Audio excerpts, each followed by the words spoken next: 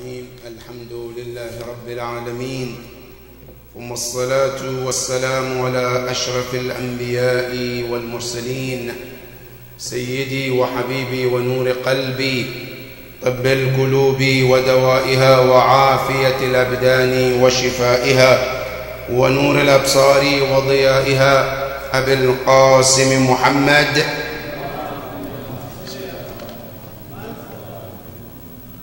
وعلى أهل بيته الطيبين الطاهرين المعصومين الذين ذهب الله عنهم الرجس وطهرهم تطهيرا. صلى قال الله سبحانه وتعالى في كتابه الكريم أعوذ بالله من الشيطان الرجيم. بسم الله الرحمن الرحيم. وأذن في الناس بالحج يأتوك رجالا وعلى كل ضامر يأتين من كل فج أميق ليشهدوا منافع لهم ويذكروا اسم الله في أيام معلومات. ألا ما رزقهم من بهيمة الأنعام فكلوا منها وأطعموا البائس الفقير. صدق الله العلي العظيم. اللهم صل على عباد الله أوصيكم ونفسي بتقوى الله. My dear brothers and dear sisters, مؤمنين and مؤمنات السلام عليكم ورحمة الله تعالى وبركاته. The beginning, all praise belongs to Allah subhanahu wa ta'ala for all His blessings, and we send our respect and salutation to our dear Prophet, the chosen one, the beloved one of Allah subhanahu wa ta'ala, Al Habib al Mustafa Muhammad. Allahumma. And I also send our respect and salutation to his family, the chosen ones, the trusted ones, the family of the Holy Prophet. May the peace and blessing of Allah be upon all of them. My dear brothers and sisters, another opportunity to remind one another about Allah subhanahu wa ta'ala. Every Friday, we get the opportunity to come to Jum'ah. It's another opportunity we are given to remind one another about Allah, the rules of Allah, the boundaries that He put among us, to remind one another about those rules and regulations. And remember, my dear brothers and sisters, the best salvation of mankind in this world and hereafter is taqwa Allah. Fear of Allah is the best solution for mankind in this world and hereafter. Whatever you want to be in this world or in this world or hereafter, the solution to it is taqwa Allah subhanahu wa ta'ala. May the Almighty Allah subhanahu wa ta'ala bless us with taqwa Allah subhanahu wa ta'ala insha'Allah.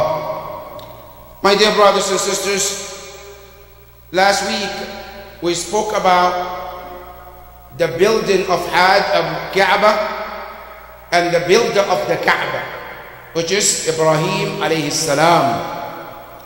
And we spoke about this Kaaba, how it came about, and also how Ibrahim alayhi salam did build the Kaaba. Today, we want to share a light about the philosophy of Hajj. When we talk about Hajj, which is one of the Islamic branches, what is the philosophy? And when we say the word philosophy, we mean wisdom behind it. What is the wisdom behind why the Almighty Allah prescribed Hajj? And as you know, in Islam, every action we do, there is always wisdom behind. Yes, sometimes some wisdom we might not know because Allah chose not to share with us. Some of the wisdom He tells us.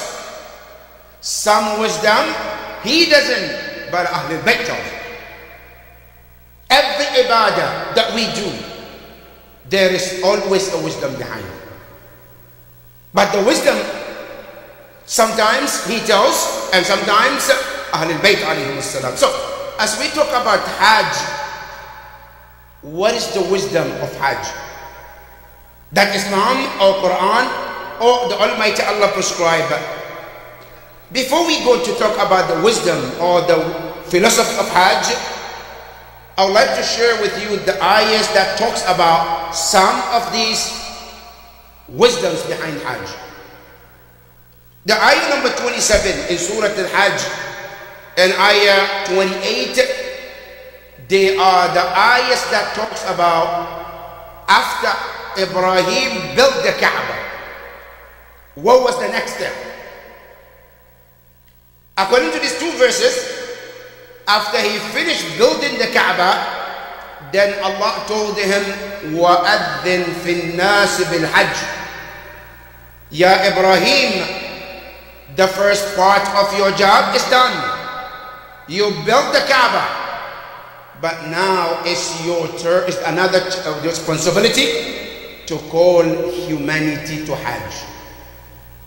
Humanity, not the people of Mecca. Now, the ayah says, وَأَذِّن في الناس not وأذن في أهل مكة وأذن في الناس call humanity to come to Hajj and Ibrahim alayhi salam was wondering how he could do that because you know today alhamdulillah you have uh, what we call media you have YouTube one message you can reach to millions of people back in those days Ibrahim, how could he reach to 100 people, 10 people? And that was when Ibrahim said, Ya Allah, my voice cannot reach to the people of Mecca, let alone to the humanity you asking me. Then Allah said to Ibrahim, Ya Ibrahim, عليك الإبلاغ عليك الآذان وعلينا الإبلاغ we did not ask you to make sure that everybody hears. But we ask you to make a call. Now, who will listen? Who will hear? That's not your job. I will make that happen, Ya Ibrahim. But all you need is to make the call. And surely enough, Ibrahim went on top of the Kaaba and he made the call. Ya ayyuhan nas, oh you people, you are called and invited to come and perform the rituals of Hajj. And that is why when we go to Hajj, the first thing we do is say, Labbaik. Labbaik means what? Here I am responding to the call. So the word Labbaik is in response to the call of Ibrahim at that time That he called you are there to confirm that yes, I heard the call and I did not stay silent. Because there are people who hears and they stay silent. قالوا سمعنا وعصينا and قالوا سمعنا وأطعنا I said we heard the call and we respond to the call and Ibrahim from that moment Allah subhanahu wa ta'ala promised him Ya Ibrahim you making this call, here's what's going to happen. Now you're wondering, your voice would not reach the people of Mecca. Allah said, I guarantee you, ya'atuka rijala. They will come. But how are they going to come? They said, ya'atuka rijala. Rijal is plural of the word region. They will come to you by foot. They will walk from remote areas in Abd al-Hijaz to come and perform these rituals. And the word Allah used, ya'atuk. They will come continuously to this house, Ya Ibrahim. You know what happened was, Ibrahim alayhi salam, after he built the Kaaba, Ibrahim could not get around his head to believe that it's going to be possible for people to come to this part of the world, ever. He couldn't believe it. Why? Because Ibrahim alayhi salam believed that it's a desert. Look at the place. And that is why when he finished building the Kaaba, he looked He says, رب إني أسكنت ذريتي بواد غير ذي زرع. There's a place, there is not even plant. It's completely desert. That's why when he finished, he himself he made dua. ربي واجعل أفئدتهم تهوي name. Ya Allah, turn the heart of believers to this house. Because I cannot imagine. And that desert. Somebody will leave their countries, their part of the world, where they are green, they are beautiful sightseeing, and come to this part of the world. But then Allah says, Ya Ibrahim, we promise you. Ya Tuk, they will come. And how are they going to come? They say, Rijala, they will come by foot. And sure enough, a lot of companions, a lot of Ahlul Bayt salam, they did go to Hajj by foot. Like Imam Al-Hasan alayhi salam, he went to Hajj 27 times by foot. Imam Al-Hasan. And every time that he goes to Hajj, he refused to ride anything. He refused. Sometimes People come and say, Ya Ibn Rasulullah, this is my horse. This is my camel. I said, no, thank you. He said, I want to go to Mecca or Hajj. And sometimes he will take even different route where most of the people don't normally take. So to avoid from the crowd so that nobody offers him something to write. You know why? Because there is a thawab, different thawab for somebody who goes to Hajj by foot versus somebody who rides. Now listen to the difference in hadith of the Prophet. قال Rasulullah, the difference between a person who goes to Hajj by foot and a person who goes riding. He says, the Prophet says, قال رسول الله صلى الله عليه وآله وسلم اللهم صل على للحاج الراكب للحاج الراجل كل خطوة يخطوها سبعون حسنة for everybody who goes to Hajj by foot every feet every step you take there is 70 uh, of good deeds every step سبعون حسنة you get right now now this is a person who writes something للراكب كل خطوة تحتها راحلته سبعون حسنة Now if you ride camel, you ride a plane, whatever you ride to go to Hajj, they said your thawab for every step is like what? 70. Now what about if I go by foot? The narration says, وَلِلْحَاجِ الْمَاشِي The one who goes by foot, the one who walks, بِكُلِّ خُطُوَةٍ يَخْتُهَا سبعمائة حسنة 700 good deeds for every step. Now first one, not even 100. They got 700 for every step. Now then you understand why Imam al-Hassan wants to go by foot all the time. Because of the thawab of going to Hajj by foot. So Allah promised, يَأْتُوكَ رِجَالًا They will come by foot. وعلى كل ضامر and not only by foot you come also riding something like what الضامر in Arabic is a weak camel why why did Allah use the word ضامر because you know الأرض الحجاز Saudi Arabia today is all sea of mountains and there is ups and downs and those of us who have been there you know how difficult it is to get from one location to another. So Allah says, subhanahu wa ta'ala says, Ya Rasulullah, Ya Ibrahim, they will come to you on the weak camel. Because the camel will climb and descend, and climb and descend, and by the time they get to Mecca, they will be weak, but they still make it. Not only that, then Allah subhanahu wa ta'ala said, يَأْتِينَ مِنْ كُلِّ فَجٍّ عَمِيقٍ They will come from every remote area. Today, that's what we see today. Now, Ibrahim and Allah spoke about this. How many years? Well, Allah knows. And today, we see exactly that. يَأْتِينَ مِنْ كُلِّ فَجٍّ From every remote area, they will come. Ya Rab, why did they want to come? Then the next ayah, ayah 28, of Surah Al-Hajj, Allah says, لِيَشْهَدُوا مَنَافِعَ لَهُمْ They will come purposely for their own benefit. What's the benefit? لِيَشْهَدُوا مَنَافِعَ لَهُمْ Allah said they will come to earn benefit. Now when we go to Hajj, what do we gain benefit? What is the benefit of Hajj? There is so much benefit in Hajj, brothers and sisters. Number one, there is a benefit that comes to individual.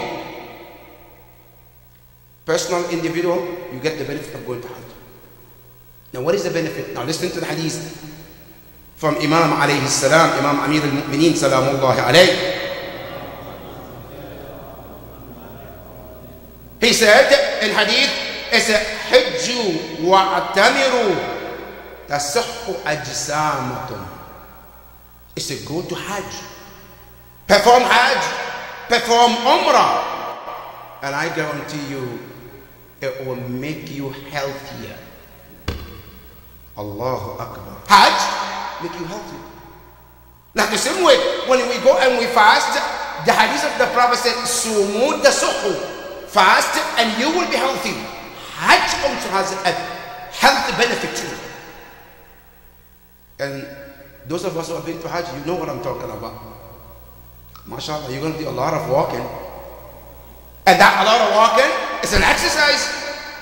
Right? How much health are you going to be when you exercise? And that's one of them. Allah, the Prophet, the, the Hadith, he says, تَسُعُ أَجْسَامُكُمْ And not only that, وَتَسِعُ أَرْزَاقَكُمْ And your sustenance will be increased.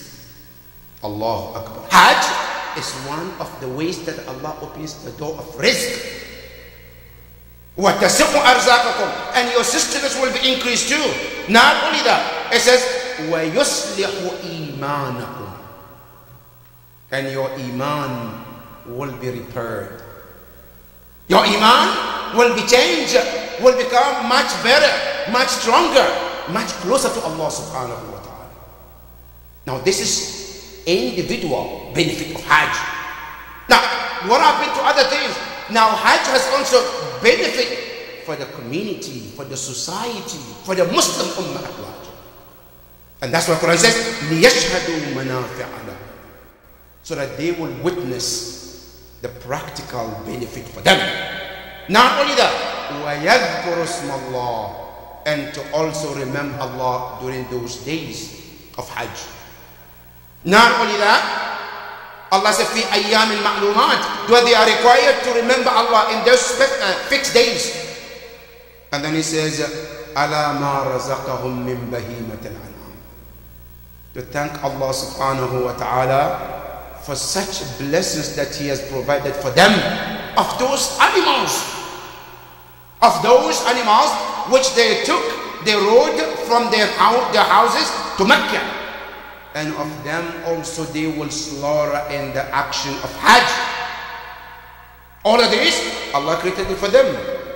And then He says, when you slaughter those animals, Allah says, فَكُلُوا مِنْهُ Eat from them. Not only that, وَأَطْعِمُ الْبَائِسَ الْفَقِيرِ And also share the meat with the needy who are needy over there. Now, there is according to this verse. Now, as we come to our scholars and the hadith of Ahlul Bayt alayhi salam, they divided Hajj and the benefit and the philosophy into different categories. Number one, they said, the spiritual uplifting of Hajj. When you go to Hajj, yourself as a person, you gain some spirituality. What kind of spirituality? You know, Hajj, the first thing it does, it takes you away from the material world. Which we are more attached to it. Now, when we go to Hajj, the first thing Islam does is to take you away from materialism. Number one, your best clothes you normally wear when you go to Hajj, no, you are not allowed to wear. The best watch I love to, I love to wear, you are not allowed to wear. The best shoe that I like, my favorite shoe, you are not allowed to wear everything that you practically wear to show that how good you are, how better you are compared to others, all of this have to be placed aside. And all you need to wear is something called an ihram, that two pieces of cloth. And that two pieces of cloth resemble many things also. Because if you think about it, why would Allah ask you to wear ihram? Why not to wear my cultural clothes or my favorite clothes? that ihram reminds us many things. Number one, it reminds you the day you go back to Allah subhanahu wa ta'ala. You come to Mecca, you left your country, you come to Mecca, it's like you are materializing, leaving dunya to go to Barzakh. And as you leave this dunya and you go to barzakh, what kind of cloth do you go to the barzakh? It's called kafan. And this ihram materialize that kafan to remind you that journey that is coming. Now you have traveled from your country to Mecca. That's a trip. But remember, there is another trip that is coming. That trip, there's no going back. That is a journey to Allah subhanahu wa ta'ala. And remember that journey, you're only going to wear something called kafan. That's number one. Number two, then it tells you also that this kafan also come to materialize that. Ya Allah, I came from any corner of the earth. I came with the baggage of sins. But I have one hope in you. And that is, you will wash me from sins and make me pure like the way this ihram is pure and clean. And that's one of the wisdom of wearing the white.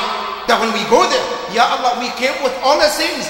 But we hope that inshallah, when by the time we go back, we have no sins. That's what hadith of the Prophet says, Man hajja walam, yaf, walam yarfuth walam yafsuk raja'aka yawmin waladatu. Who goes to Hajj and did not do anything to break the rituals of Hajj intentionally. And did not do anything against the teaching of Hajj I said he or she will return back home the day as the day that his parents give birth to him. That is Hajj. But first, you have to understand the philosophy of Hajj. So that is why we wear this ihram. Now, then another thing also, Ba'd al-Imani, it brings you closer to Allah. Because you know, one of the things that puts a big obstacle between us and Allah is arrogance. Arrogance. Al-Gurur. How? See, when we started to wear some expensive clothes, then I started to feel I'm better than him. I'm better than her. Look at the expensive watch that I wear. Look at the expensive clothes that I wear. Now when you go to Hajj, Allah said, no expensive clothes you all are to dress equally. Because this, I'm better than this, this is in your own world. But when you come to Allah, you're all equal. One of the benefits of Hajj, that Hajj kills the spirit of what? The spirit of racism, classism. Right? We're better than this person. We, are, we look this. We are better. When you go to Hajj, all of that is put in the lock and it's gone. You're rich, that is in your world. When you come to Allah, you and the poorest person perform Hajj, you dress the same. I'm the president of this country. Yes, that's then. When you come to Allah, you and the poorest person, the lowest citizen in the country, you are equal in the sight of Allah. And that is what it kills that racism in your heart. And that is one of the Bu'dul Imani of Hajj. That is the philosophy of Hajj. That is number one. Number two, and it's called Al-Bu'dul Musa'ada. It gives you the spirit of learning to share. Share what? Now, you heard in the ayah 27, which Allah subhanahu wa ta'ala says, when you sacrifice in Mecca, in, in Mina, one of the responsibilities, فَكُلُوا وَأَطْعِمُوا You eat and feed too. It's a responsibility, right? unfortunately, unfortunately, the government of Saudi Arabia didn't used to do this kind of act. You know, years ago, they used to, after Hajj, they will dig a big hole and dump all the meat in there. You know what you can call this? One word, israf. When there are people in Saudi Arabia who are needy and they don't give them that meat, nor the people who are next door, like Yemen, like other countries, they will dump all of that even in the hole and bury them. Not only that, even there was a time some people came and said, No, we will sponsor, we will pay for it. Just make sure that it goes. To, no, no, no, we are not going to do it. Because you got some of these scholars who are narrow minded, right? And they believe this hadith the Prophet says, whenever they slaughter in Mecca, should stay in Mecca. And if it cannot be found, don't it. But it can go out of the market. Yes, it's true, there's hadith like that. But they asked Imam Ja'far al-Sadiq alayhi salam, Allahumma salli ala that Yabna Rasulullah, this hadith that whatever we slaughter in Mina is supposed to stay there for the people of Mecca. So yes, it's true. But that was then.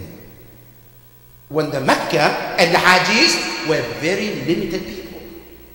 But today with the large crowd going to Hajj and having more meat or more, more of this animal slaughtered, yes, it should go to the poor people every corner of the earth if possible.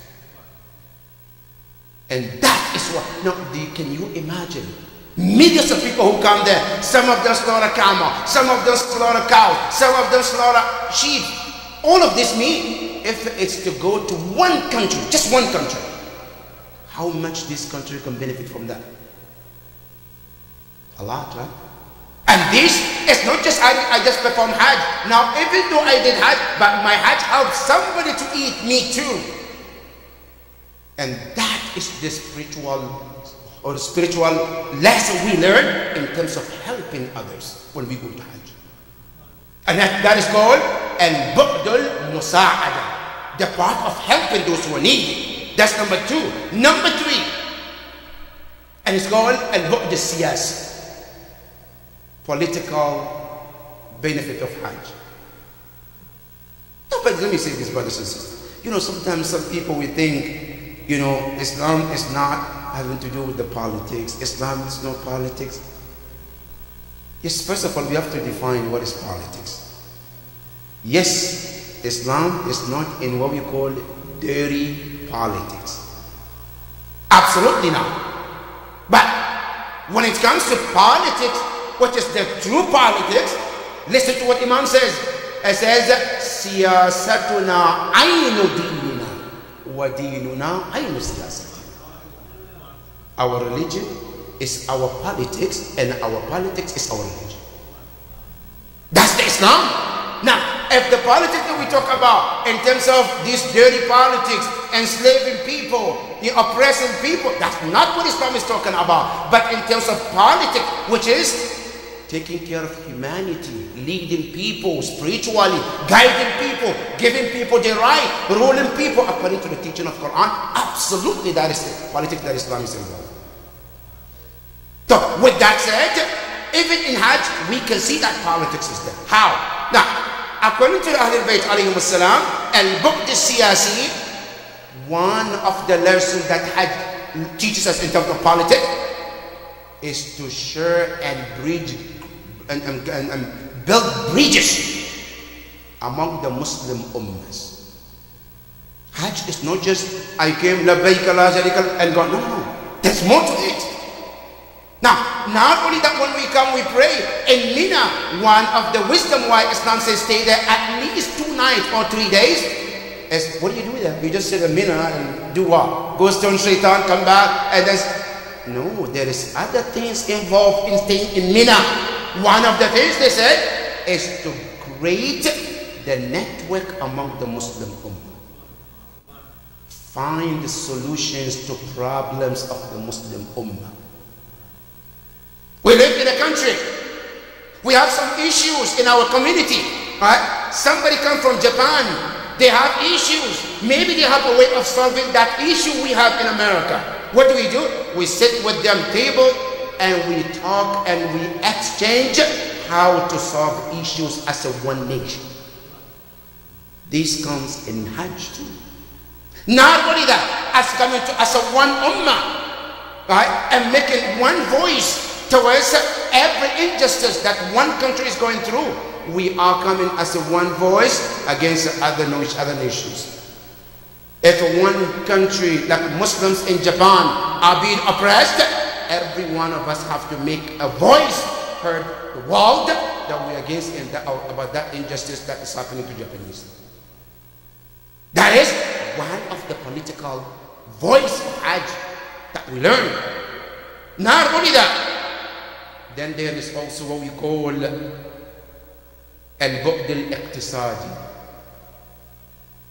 economical wisdom of Hajj. Hajj is not just rituals. You go, you pray, and that's it. One of the aspects of Hajj also is you and I can do business Islam allows you, as you go to Hajj, you can take things from your country to sell there and buy from there and sell back home. It's allowed in Islam when you go to Hajj, provided that that business doesn't take you away from your rituals. Now I go there, I do my Hajj, I finish. Now it's time for business. Now it's time to make money. Islam doesn't forbid you to do that. Even on Jummah, Quran tells you that too. You come to Jummah, you pray Jummah, Allah said, go seek the blessing of Allah. فَإِذَا قُضِيَتِ الصَّلَاةِ فَانْتَشِرُوا فِي الْأَرْضِ وَابْتَغُوا مِنْ فَضْلِ اللَّهِ Allah said first and foremost, إِذَا نُودِيَ لِلصَّلَاةِ فَاسْعَوْا إِلَى ذِكْرِ اللَّهِ Run to Jummah. Leave anything that called buy and selling. Go to Jummah, perform Jummah. But when you're done, don't stay in the masjid, subhanallah, subhanallah, all day, all day long. Allah said, go out. Do what? He said, go and seek the blessings of Allah out there. Go make a business. And remember, here there are some of the scholars who believe that one of the blessings, one way, one of the way to get the blessing of Allah on Jummah is to come to Jummah first, right, and then go back to your business. There are some ulama in Qum that we know they don't go to market to buy or sell unless on the day of Jummah. And specifically after Jummah is when they enter market. Just to make sure that they practice in this verse, فَإِذَا قُضِيَتِ الصَّلَاةِ فَانْتَشِرُوا فِي الْأَرْضِ وَابْتَغُوا مِنْ فَضْلِ They want to benefit from this blessing of Allah subhanahu wa ta'ala. Now, when we go to Hajj, it's not only just no, I go pray and do my tawaf and that's it. No, Islam says Make a business, make money. It's an opportunity that Muslim world they can network to have international or global market where Muslims trade among themselves and send the benefit to one another instead of going to the to the enemies of Islam. And that can come through the Hajj. And that is why if the people are to understand this philosophy of Hajj and practice it, Trust me, there wouldn't be any Muslim world where a Muslim is suffering or a Muslim country is suffering. Why should they, if all of this ummah come together and perform this Hajj with one intention and one God and the Prophet Muhammad sallallahu alayhi wa as a leader? All of this is called the Falsafatul Hajj.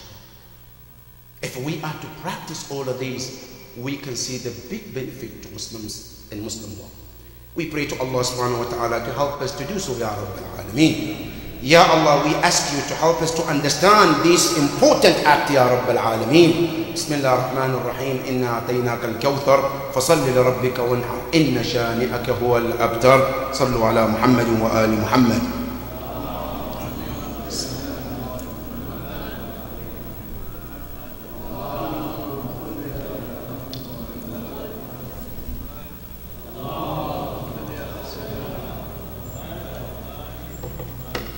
بسم الله الرحمن الرحيم الحمد لله رب العالمين ثم الصلاة والسلام على المبعوث رحمة للعالمين حبيب قلوبنا أبي القاسم محمد اللهم صل على محمد اللهم صل وسلم على علي أمير المؤمنين وسيد الوصيين وعلى فاطمة الزهراء سيدة نساء العالمين وعلى الحسن والحسين سيدي شباب أهل الجنة أجمعين وعلى علي بن الحسين زين العابدين ومحمد بن علي باكر علم النبيين وجعفر بن محمد الصادق وموسى بن جعفر القاضم وعلي بن موسى الرضا ومحمد بن علي الجواد وعلي بن محمد الهادي والحسن بن علي العسكري والحجة بن الحسن المهدي. أجل الله تعالى فرجه. اللهم هؤلاء أئمتنا بهم نتولى ومن أعدائهم نتبرأ إلى قيام يوم الدين. اللهم صل على My dear brothers and sisters, one of the event of this week is one of the event that took place, I believe, a few weeks ago, and that is about one of the spokeswomen in India who insulted our prophet. And that is one thing, but the saddest part is many of this Muslim world were quiet about it. When this happened, nothing happened. Until few countries came about to speak against it. And then we see that the world started to make a lot of noise about it. And what happened? If you look at the, from what I heard, it's a masjid, belongs to Muslims. And they wanted to take that masjid and turn it to Hindu temple. And Muslims it. And in this matter, this spokeswoman, she decided to say bad things about the Prophet. And the Muslim world, she thought, okay, no big deal. Until plague countries like Iran and Pakistan spoke about, that is when they realized, oh, this is serious. Yes, indeed. She has been, they took her out of her power or her position. But we all have a responsibility, brothers and sisters. We all have responsibility. That when somebody disrespect our leader, or disrespect our God, or disrespect our Quran, or Ahlul Bayt salam, we have responsibility not to stay quiet. Because who else do we have?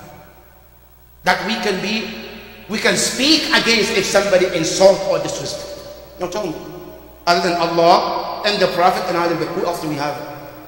As a whole individual, that we look up to them as a guide, as a leader, as a chosen individual. Who do we have?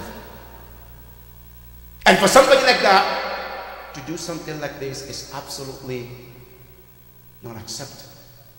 And we condemn this kind of act from any individual, whether from this lady or from any other government in India. And not only that, this must put to stop, to stop. And we all, as a community, we have a responsibility. That was something we can do. Because here's the thing, brothers and sisters. You know, when somebody comes out, like this lady, and disrespect the prophet, the thing is, if you and I don't do anything, it opens the door for another person to do even worse. If we stay quiet, then tomorrow, I guarantee you, somebody's going to come and say something worse. And then again, and again, and where would it stop? For that matter, as a community, and in we need to do something. And part of what we can do, we can write petition. Because sometimes we have to we have to deal with these people in the language they can understand. Because if you and I speak to them, they don't understand my language, they don't understand your language.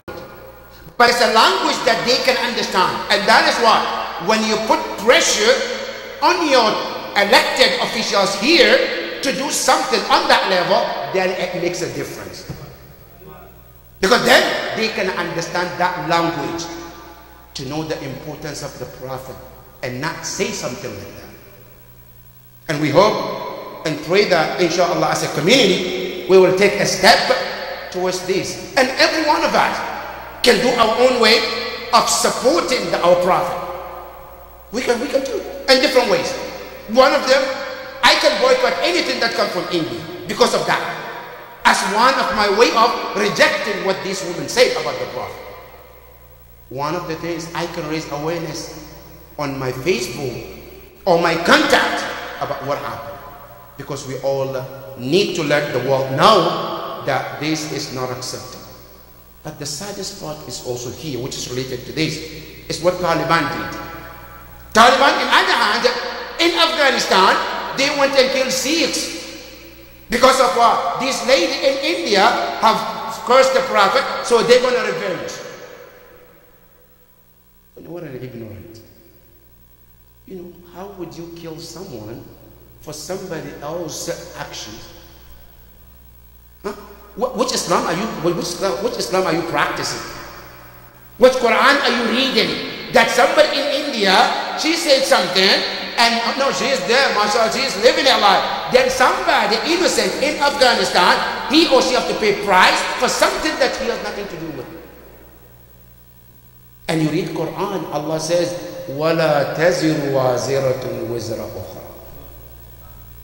In Islam, no son or daughter carries the sin of the father. No, the father carries the sin of the child, let alone in religion. How do you go and kill those innocent people because somebody did this? We condemn this act too because this is un-Islamic. In Islam, even we are not allowed as Muslims to go against that woman, children, or husband. Now what do they do? The person who is involved, she is responsible for what she said, but not innocent people. And this needs to get to the head of Taliban that this is not Islam. This is not what the teaching of Quran is. No, this is the teaching of Ahlul Bayt And we hope and pray that they understand the true teaching of Islam. Imam Ali alayhi salam, after he got hit by Muljam, read what Imam Ali said. He said to Imam Hassan, Ya Hassan, Ya Bunay, لا ألفينكم تخوضون في دماء المسلمين تقولون قتل علي بن أبي طالب He said, I don't allow you. Muhammad told Imam Hassan, he said, I don't allow you. Going killing innocent people in the name that Ibn Muljam killed your father.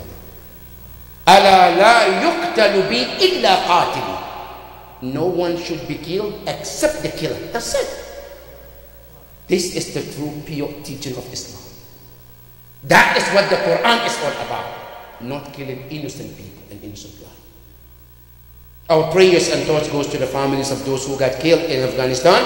And may the Almighty Allah subhanahu wa ta'ala protect the people of, the, of the Afghanistan, Ya Rabbil Alameen.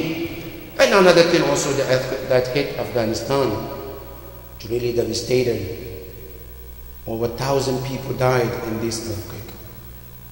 And from what I understood, it started in places also like uh, Pakistan and some part of the India borderline of these two these countries. But Afghanistan got hit more compared to the other countries. Our prayers and thoughts goes to Afghanistan. And we pray to Allah subhanahu wa ta'ala, those who injured, God who got injured, may Allah subhanahu wa ta'ala give them the fastest recovery, Ya Rabbal Alameen.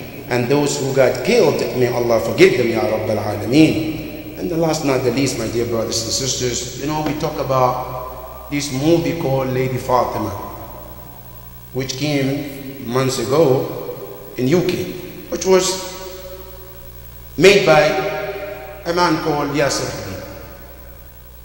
And when this movie came out, some of our scholars came out, spoken, and said, this is absolutely normal. There is no good in this movie. There is no good intention behind this movie. As a matter of fact, this movie can cause division among the Muslim Ummah. And of those scholars who came out and spoke about this openly, one of them, Ayatollah Safi, and also Ayatollah Nasir Makarim Shiraz. They were open spoken about it. Now, today, for those of us who are following the news, today if you hear what is happening in England because of this movie, protest every corner of the England because of that move. Muslims are protesting against Shia. That Shia is causing division and Shia are causing fitna among the Muslim Ummah. While knowing that it's not a Shia, it's one person sitting somewhere and doing their own thing. Not listening to anyone. Doing their own thing because of their own interest. This is why our scholars already said this is the Nihal. My dear brothers and sisters, We can understand the time we live. When you live in a time, you have to know your timing and your surrounding you live in. Uh, being a Muslim is not enough. You have to be a mu'min and wise and smart.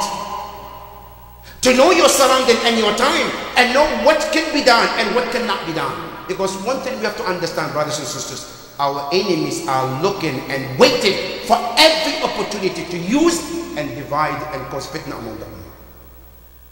That's what they're looking for. They will pay every amount to make sure that happens. And if you bring yourself and you say, Yes, here I am, I can make that fitna happen, what are you doing? You're helping the cause, or you are what are you doing? You're helping the cause. And we hope to Allah, we hope that our ummah understand the significance of this, what we're talking about. And may Allah subhanahu wa ta'ala guide all of us, Ya Rabbal Alameen. Ya Allah, we ask you, show us the right way and help us to stay on the right way, Ya Rabbal Alameen. Ya Allah, we ask you to show us the wrong way and help us to stay away from it, Ya Rabbal Alameen. بسم الله الرحمن الرحيم إنا أعطيناك الكوثر فصل وانحر إن شانئك هو الأبتر صلوا على محمد وآل محمد